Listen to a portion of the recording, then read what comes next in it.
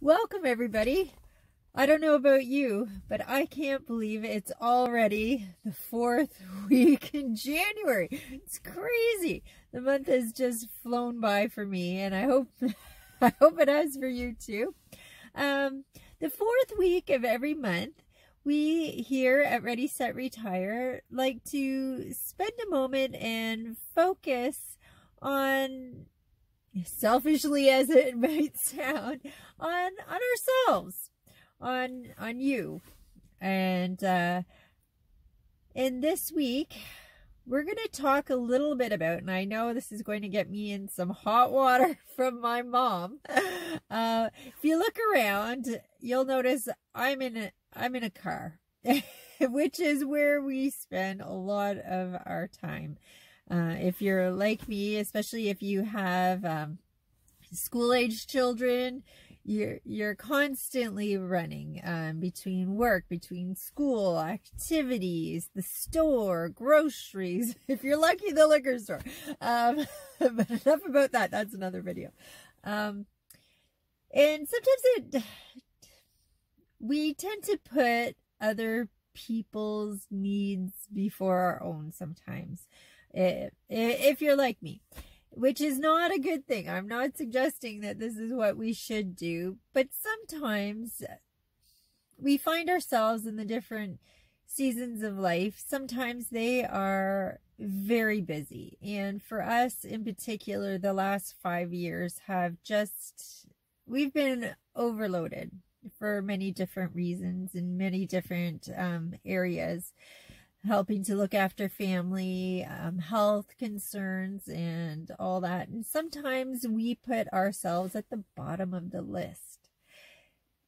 This week, my challenge to you, and this stemmed from a letter I got in the mail.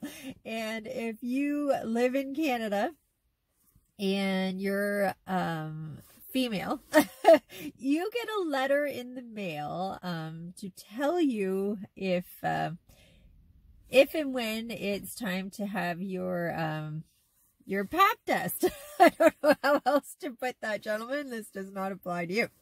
Um, and you're supposed to go as a, as a woman every three years to uh, to make sure that you don't have cervical cancer. And I got mine in the mail, and I know you hear my mom right now. What do you mean you didn't go right away? So you get the letter in the mail, and you are supposed to call your family doctor and book that appointment. And so I actually just got the follow up letter that says several months ago we sent you a reminder letter inviting you to have a pap test, which is such a great time. Um, but all getting aside, it is so, it is important, and I am going to make that call um, this week, Mom. I'm going to make that appointment. And um, I encourage you. So this is challenge number four, number four for 2020.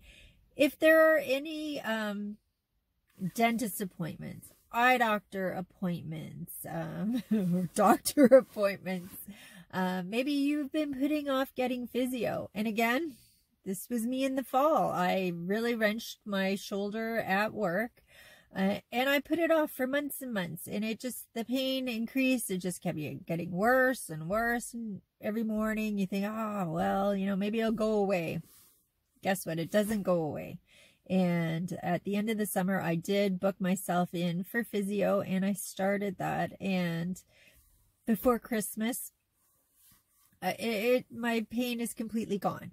I should have booked physio right away. And the truth is, if something had happened to to our daughter, we would have booked her in immediately. So why why the delay um for putting myself first? I don't know. Um it could be a combination of just stress, not wanting to add one more thing to our crazy schedules but my challenge um, to everybody out there is to find the time. Pretend your needs are that of your child or even your spouses or uh, someone else you always seem to make time for. Uh, and make time for yourself.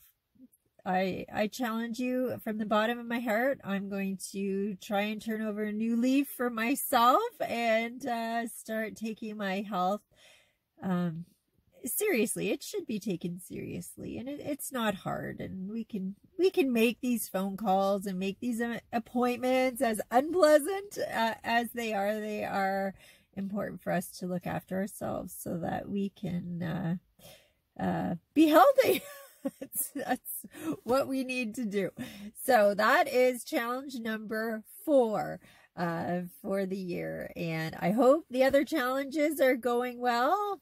Hope you're uh, working on your budgets. I hope you're decluttering those kitchen cupboards. And um, look forward to seeing you next week. I hope you have a great week. And uh, thanks, thanks so much for tuning in. And if you did enjoy it, a thumbs up is sure appreciated. And uh, have a great week, everyone.